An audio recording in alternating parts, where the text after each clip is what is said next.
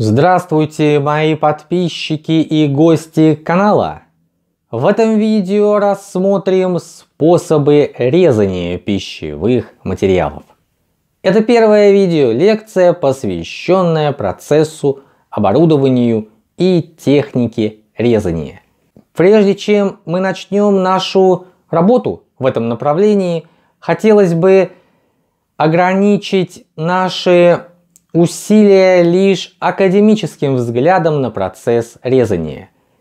Практические применения будут рассматриваться постольку поскольку в тот момент, когда это будет крайне необходимо. И если вы работаете на предприятии, на котором используется процесс резания, вы можете почерпнуть из этих лекций для себя что-то новое, но на какие-то откровения вряд ли вы можете рассчитывать. Более эти лекции рассчитаны на студентов. Направлений подготовки, технологические машины и оборудование, профиль машины и аппараты пищевых производств, а также технология продуктов из растительного и животного сырья. Рассмотрим геометрию лезвия, а точнее его режущей кромки. Различают три угла. Угол гамма – это передний угол. Бета – угол заострения. 5 градусов или от 7 до 12 градусов, а в некоторых случаях и 90 градусов в зависимости от свойств разрезаемого материала. Альфа – это задний угол. Альфа плюс бета – угол резания. Это важная информация для понимания того, как устроена основная часть режущего инструмента – и в дальнейшем, когда вы будете видеть картинки на экране со схемами разрезания пищевых продуктов, сырья, полуфабрикатов, вы держите в голове эту схему. На схемах, которые будут демонстрироваться на экране, Наименования углов и их обозначения могут отличаться от приведенных сейчас.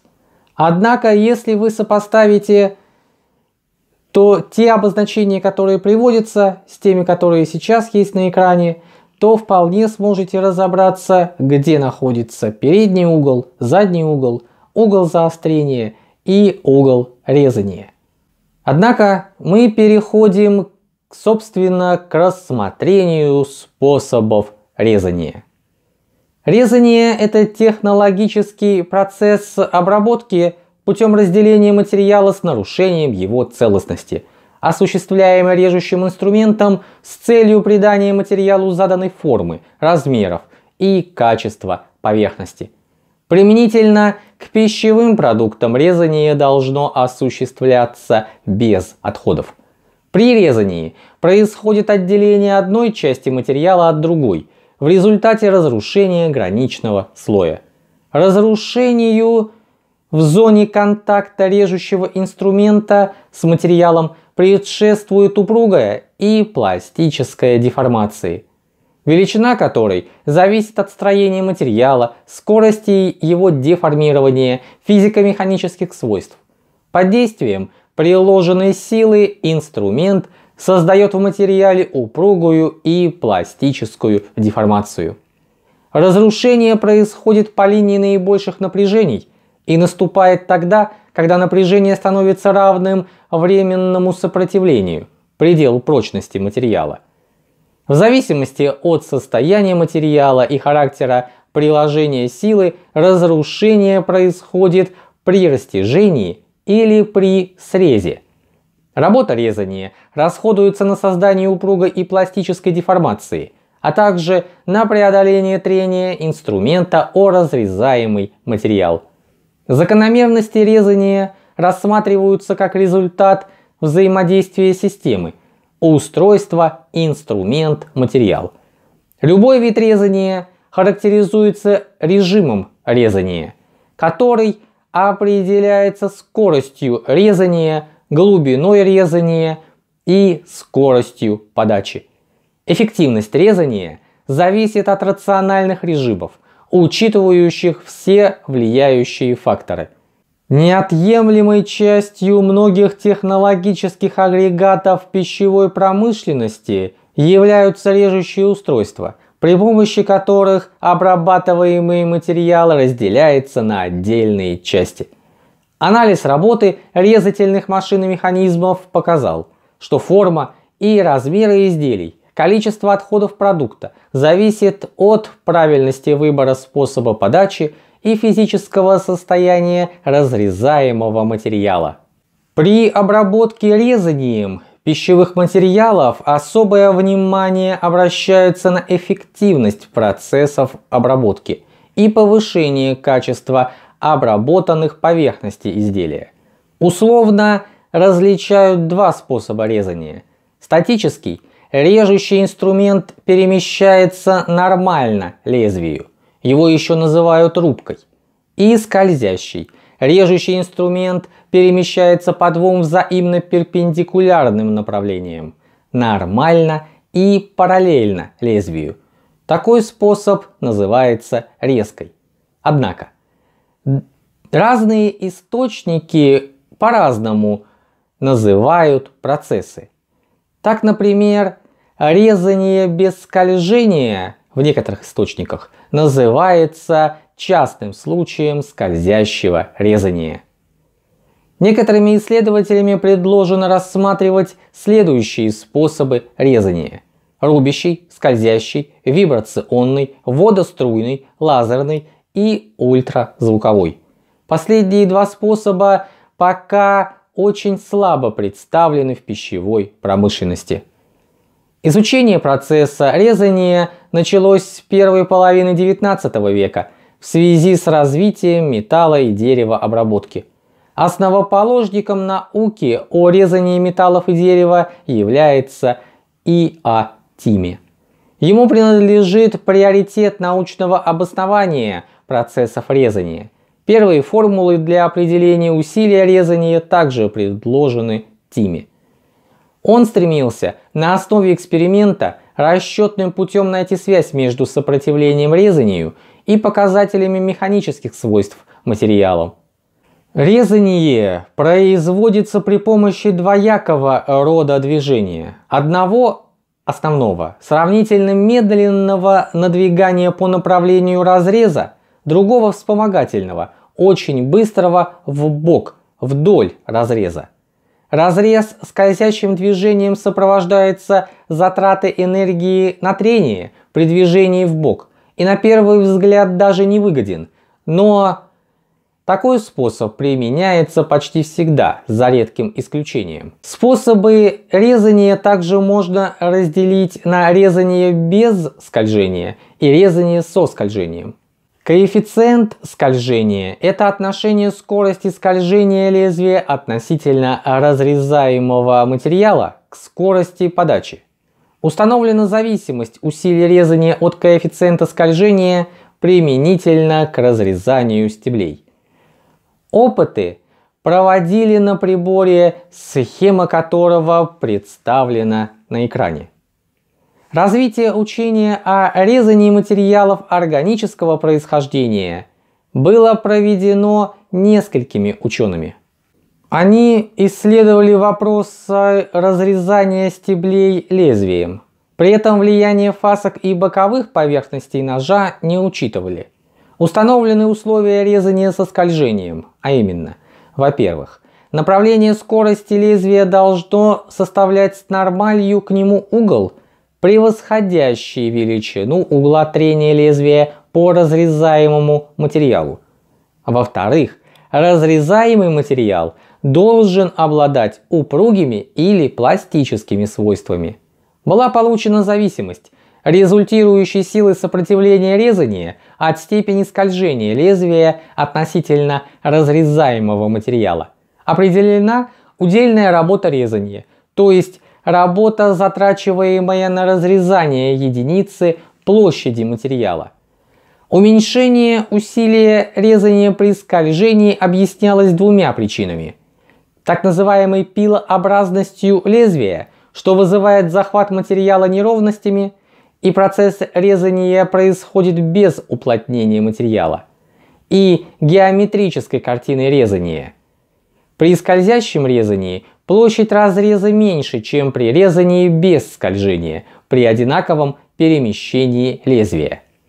При резании лезвием разрушение материала в месте его разрезания происходит под действием вершины двугранного угла, образованного фасками ножа и фаски, то есть заточенные боковые грани ножа, проникая за лезвием в образуемый им прорез в материале, могут оказывать на процесс резания лезвием свое дополнительное влияние, в зависимости от угла заточки ножа и коэффициента трения его по материалу.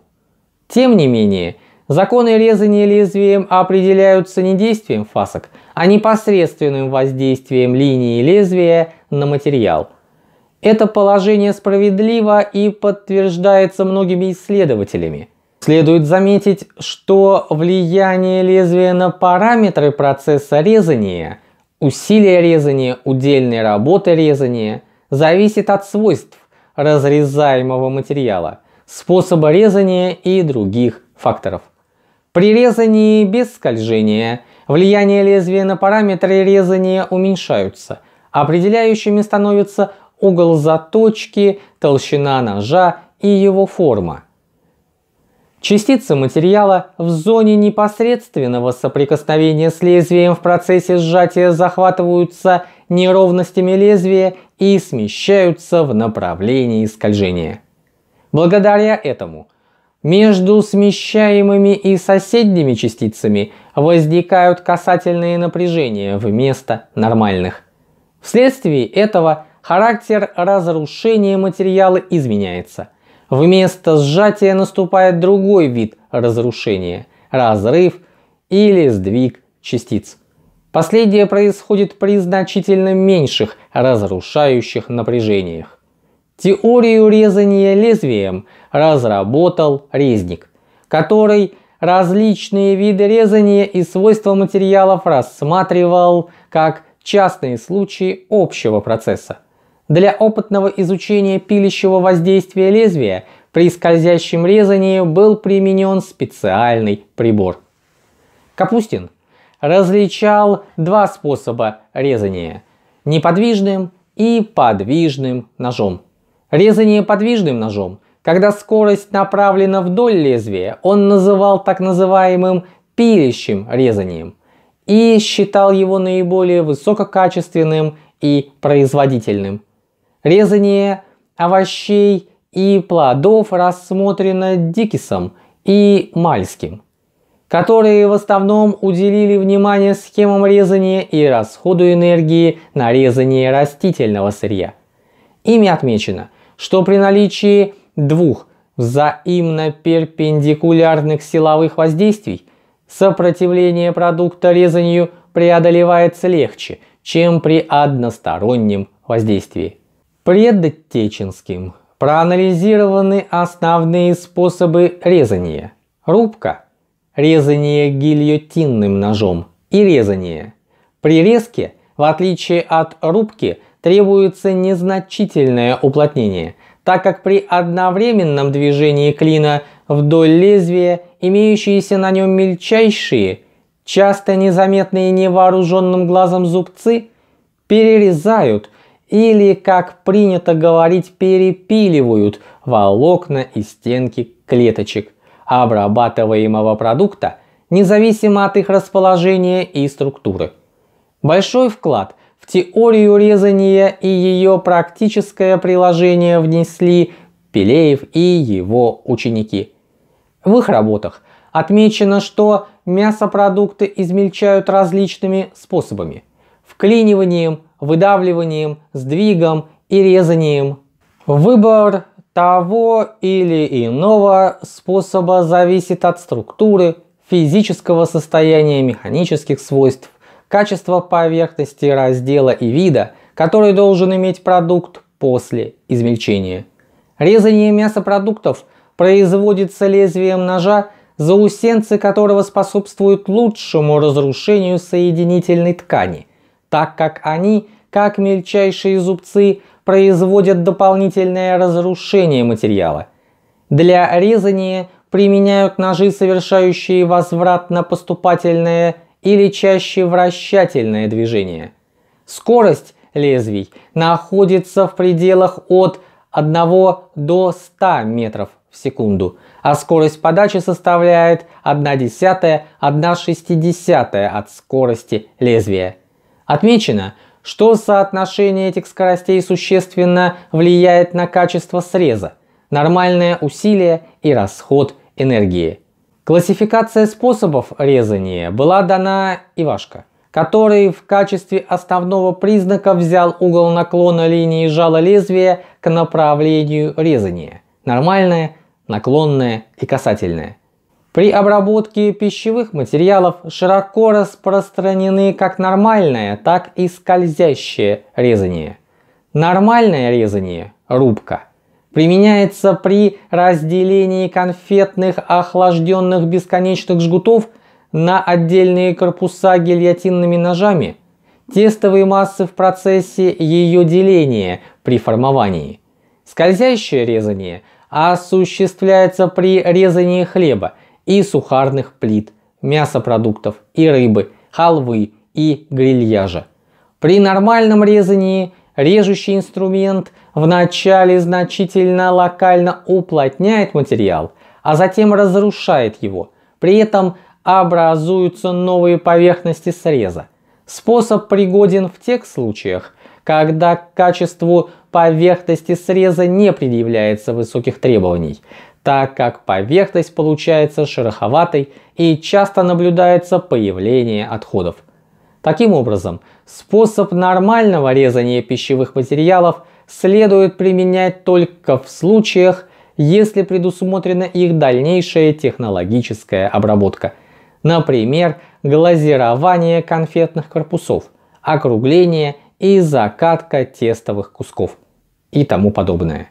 При скользящем резании режущая кромка инструмента создает местное уплотнение материала, при этом образуется более гладкая поверхность среза. Это резание широко применяется для пищевых материалов.